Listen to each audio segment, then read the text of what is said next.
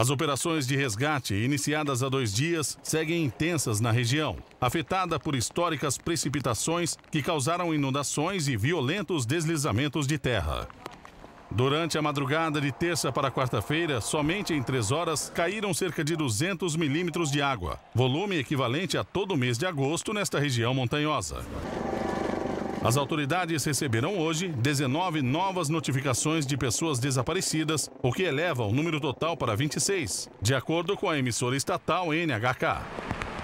Um contingente de 2.500 agentes da polícia, dos bombeiros e das forças de autodefesa participam das operações de resgate, centradas principalmente na busca de pessoas arrastadas pelas cheias de rios e canais, deslizamentos de terra ou fluxos de lama.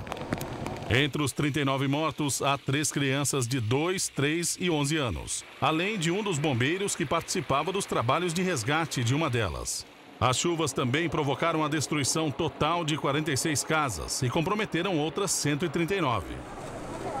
Cerca de mil pessoas foram resgatadas e, por enquanto, se encontram em abrigos provisórios.